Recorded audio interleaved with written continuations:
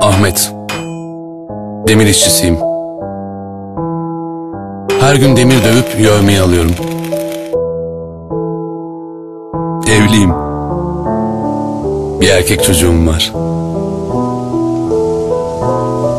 Dün eşimin hastalığını öğrendiğimde sigortam olmadığı için sosyal güvencenin aslında ne kadar önemli olduğunu anladım. Her çalışanın bir sosyal güvence hakkı vardır. Geleceğiniz için sigortasız çalışmayın. Alo 170 ile hakkını ara.